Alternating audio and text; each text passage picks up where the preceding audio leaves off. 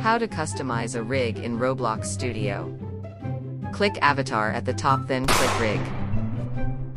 Once you've done that a pop-up like this should appear, you can choose R15 or R6. I'm going to use R6 with the block avatar. This is extra, but if you want to make your custom rig to be the starter character of your game do this step. Basically just rename the rig starter character with caps. Now it's time to give your rig a face. Click the little arrow on the left and then click the head's little arrow, now delete the decal face. Your rig should no longer have a face, instead you will replace it with a face of your choice. Go into the toolbox and set the button models to decals.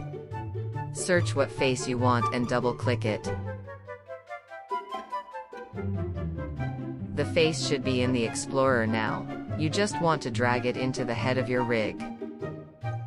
If you want to change the body colors of your rig click the button that says body colors and change them in TE Properties tab.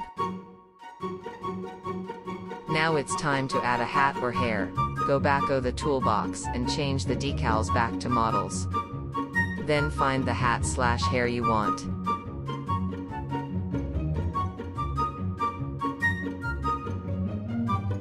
Once you find what hat or hair you need drag it into the head part of the rig and it should automatically connect right onto its head.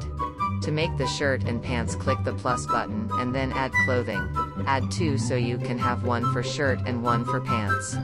You want you want to go onto the Roblox website on a search engine like Google then go find a shirt and pants you want on the market. After that copy the number in the search bar and paste it in the properties tab. If you want the rig to hold an item find one in the toolbox and double click it.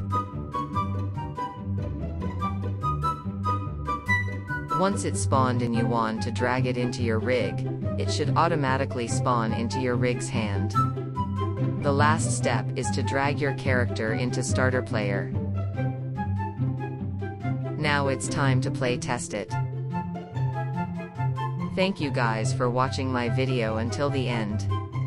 If this helped you I hope you can leave a like and subscribe I'm trying to hit 1k subs. If you want more tutorials tell me in the comments. Bye.